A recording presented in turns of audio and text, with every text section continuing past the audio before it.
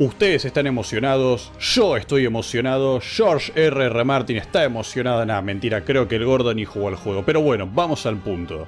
Nuestro primer adelanto de la expansión Sombras del Árbol Áureo es una imagen muy interesante que da lugar a muchas especulaciones. Vamos a revisarlas. Primeramente, dividamos la imagen en tres apartados clave, el árbol, la persona rubia y el entorno. Analizándolas en ese orden, vamos a comenzar con el árbol. Tenemos dos opciones básicas y evidentes, o es el árbol áureo o es el árbol hierático. Y los aspectos clave a analizar de la imagen son, tiene dos copas, está inclinado, se ve de color negro y está supurando una savia ámbar. Ahora bien, ¿es posible que sea el árbol hierático? Veamos. En principio, el árbol hierático es un solo árbol, por lo que no es coherente que tenga dos copas. Además, no tendría sentido que esté sangrando ámbar dorado, ¿verdad? Bien, hay formas de refutar esto. En primer lugar, el árbol hierático claramente se está abriendo en dos direcciones, por lo que es posible que, si su sistema de raíces sigue vigente, haya rebrotado en ambas direcciones. Luego está el hecho de que sangre ámbar dorado. Esto último lo relaciona obviamente con el árbol áureo. No obstante, no debemos olvidar que el árbol hierático también es un árbol áureo, un retonio de la misma especie podemos confirmarlo por la presencia de dos avatares del árbol que obviamente solo existen para defender a los descendientes del árbol áureo. Y noten qué detalle tan curioso, hay dos, como dos copas tiene el árbol que vemos. Sin embargo, si esta teoría es cierta, es problemática, ya que necesariamente debe suceder en el futuro, como es obvio, pero durante los eventos del juego, el árbol hierático no solo está seco y hueco, sino que está podrido, víctima de la flor de Aonia al lado de la sala de Malenia. Y además, si es canon que matamos a Malenia, ello implica que floreció de vuelta, y por lo tanto el árbol hierático debería estar el doble o triple de putrefacto. El otro hecho fundamental es que el árbol hierático crecía con la sangre de Miquela, y como todos sabemos, Miquela ya no está. Por lo tanto, si este es el árbol hierático en el futuro, tendríamos que resolver todos esos problemas del lore. Y eso sin contar el hecho de que, si ese que vemos es Miquela, es un poco más pequeño que el Miquela que encontramos en la dinastía de Mog. Esto nos lleva a pensar dos alternativas, o es el pasado o es un sueño. Si es el pasado, ello implica que el árbol hierático llegó a crecer, pero al pudrirse se quebró hay un detalle no menor que podría apuntar a que esto tenga algo de cierto. El símbolo de los encantamientos del árbol hierático muestra un árbol en espiral como el que vemos en la imagen. Y adicionalmente, muchos consideran que lo que se ve es un árbol asfixiando a otro, pero también existe la posibilidad de que lo que vemos sea una silueta femenina, similar a lo que está presente en la arena de Malenia. La otra opción es que sea un sueño de Miquela, que es posible dado que sabemos a ciencia cierta que sigue vivo dentro del capullo. Se menciona que Santa Trina apareció de la nada y desapareció igual de rápido, por lo que esto podría implicar que este alter ego de Miquela surgió cuando se incrustó en el árbol y desapareció cuando fue secuestrado por Mog. Ahora, con Mog muerto, Mikela podría volver a soñar, y From a traer consigo el contenido recortado respecto de los sueños. Esto último no debe pasarse por alto, ya que no sería raro que recuperen viejas ideas que han descartado para el lanzamiento final del juego.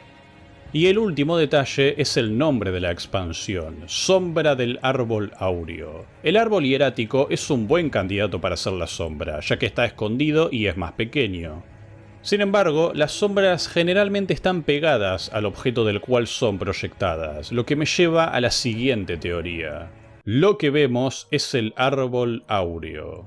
En principio tiene una inclinación similar pero más abrupta, lo cual es coherente si consideramos que está siendo asfixiado por otro árbol. Sin embargo, la pregunta obvia es ¿qué otro árbol? Tal vez Godwin. Sabemos que él se fusionó con las raíces del árbol áureo y que además está creciendo y expandiéndose durante los eventos del juego. A diferencia del árbol hierático, Godwin está vivo y se hace cada vez más grande y fuerte. La cuestión es que Godwin no es otro árbol, sino que está infectando las raíces del árbol áureo. No obstante, muchos consideran que desde su cuerpo está creciendo un nuevo árbol, pues como podemos ver, un tronco parece salir de él. Es factible que sea un tronco, ya que es demasiado recto para ser una raíz. Y si esto es cierto, es posible que lo que estemos viendo sea a Godwin creciendo como un nuevo árbol, que necesariamente necesita matar al árbol áureo para seguir prosperando, ya que comparten el mismo sistema de raíces. Esto es bastante factible, ya que no es incoherente con lo que vemos en el juego. Además, coincide que el árbol áureo se está inclinando y sangrando savia ámbar. Esto último, sin embargo, sí que es un poco problemático. Sabemos que la era de la abundancia terminó, por lo que el árbol áureo ya no debería dar ámbar. Además, temáticamente el árbol áureo está un poco seco, ya que su follaje es muy débil, y también está el hecho de que lo quemamos. Quiero decir, un árbol es más fácil de incendiar cuando está seco. No obstante, nunca se nos dice de forma tajante y rotunda que el árbol áureo esté completamente seco, y además aún le quedan algunas hojitas. Por lo que no sería del todo descabellado pensar que todavía tiene un poco de ámbar adentro.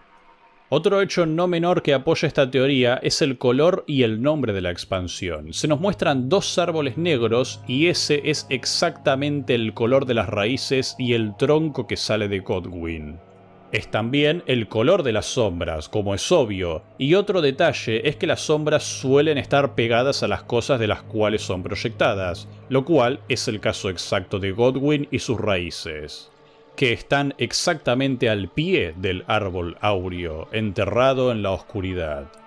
Ahora bien, si esto es cierto, nos genera inconvenientes respecto de la persona rubia que vemos. Es totalmente imposible que esta teoría sea en el pasado, como es obvio, necesariamente debe suceder en el futuro. Ahora, si es así y quien vemos es Mikela, no tiene sentido, ya que lo que vemos es un Mikela pequeño, mientras que el Mikela actual, en el capullo de la dinastía de Mog, es enorme. La alternativa a la que podemos recurrir es que sea un sueño de Mikela, lo cual sería raro, quiero decir, si la expansión sucede durante el sueño de Mikela, veo más plausible que eso que vemos sea el árbol hierático. También existe la posibilidad de que Mikela, en su sueño, presencie el futuro, lo cual es rebuscado, pero no imposible. Ahora bien, hay una tercera teoría, y esta es mucho más personal y propia de este canal. Supongamos que esto ocurre en el futuro, y el final canon es cualquiera, excepto el de la llama frenética. En los Dark Souls, cualquier final daba igual, dado que el mundo es un ciclo, las cosas de fondo no podían cambiarse, y tal vez aquí sea lo mismo. Da igual si elegimos el final del Dung Eater, el normal o el de Rani, el árbol áureo sigue ahí y el ciclo continúa. Todo cambio que hagamos es meramente superficial. Lo que realmente importa no es qué configuración le dimos al Elden Ring, lo importante es que matamos a la Elden Beast.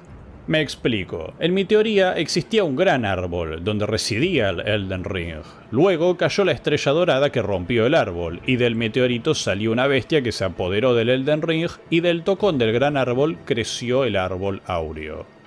De este modo, la Elden Beast es el espíritu y semilla del árbol áureo, y el árbol áureo es el cuerpo. Al matar a la bestia, básicamente matamos el alma del árbol. Ahora, el árbol dorado es un cuerpo sin alma, como Godwin, y al debilitarse con la muerte de la bestia, el gran árbol comienza a brotar de nuevo y asfixia al árbol áureo en una suerte de venganza. El nombre de la expansión podría por lo tanto referirse al árbol que quedó olvidado y a la sombra, al gran árbol. Esta teoría mía es perfectamente compatible con la teoría de Godwin, dado que todos comparten el mismo sistema de raíces. Sin embargo, presenta los mismos problemas de continuidad temporal ya mencionados. Ahora, para concluir con los árboles, veamos la cuarta y última posibilidad. Muchos creen que la persona rubia es Mikela, no obstante tenemos otra candidata obvia, Marika. La identidad de quien monta a Torrent o un caballo de su misma especie lo cubriré en el siguiente video. Por ahora vamos a ceñirnos a la idea de que en realidad estamos viendo a una joven Marika montando a Torrent. Las trencitas son las mismas que vemos en Mikela, sin embargo Mikela es hijo de Marika y uno además muy consentido por Radagon, que además es Marika no sería raro que Marika le haga a su hijo rubio las mismas trencitas que ella tenía cuando era niña, más aún considerando el diálogo de Gideon que dice, Parece que el dolor de la reina estaba justificado, cuando le informamos que Mikela fue secuestrado por Mog. Pero bueno, me estoy adelantando al siguiente video. Si esta es Marika de joven, ello implicaría que la expansión trataría de su ascensión a ser una divinidad. Tal vez lo que la imagen muestra es lo opuesto de la teoría anterior. Lo que estaríamos viendo sería al árbol aureo crecer y destruir al gran árbol, asfixiándolo y extrayendo violentamente su savia. Y a una joven Marika mirando lo que sería la fuente de su poder y reinado. Esto en realidad tiene una base más o menos sólida. Sabemos que el reinado de Marika se caracteriza por utilizar la savia del árbol como si ésta fuese infinita, representado metafóricamente en esta imagen con el árbol aureo exprimiendo al gran árbol. También que durante la guerra contra los gigantes se utilizaron lanzas hechas de madera, por lo que quizás estas hayan sido construidas al cortarlas de la copa del viejo árbol. Con ello Marika ganaba dos cosas. Armas para su guerra y le permite crecer al árbol aureo, que es su era. Adicionalmente, la entrada al lugar donde reside Marika representa esto mismo que estoy diciendo. Vemos un árbol saliendo de otro y debajo el Elden Ring, pero no cualquier Elden Ring sino el que gobernó durante la era de Marika. Notemos que incluso carece de la gran runa de Radagon, que está conformada por muchos rombos. Esta teoría tiene un inconveniente obvio y es que de hecho no se parece demasiado a lo que vemos en el juego. Si estamos viendo al árbol aureo asfixiar a gran árbol, resultaría raro que durante el juego lo veamos más o menos recto.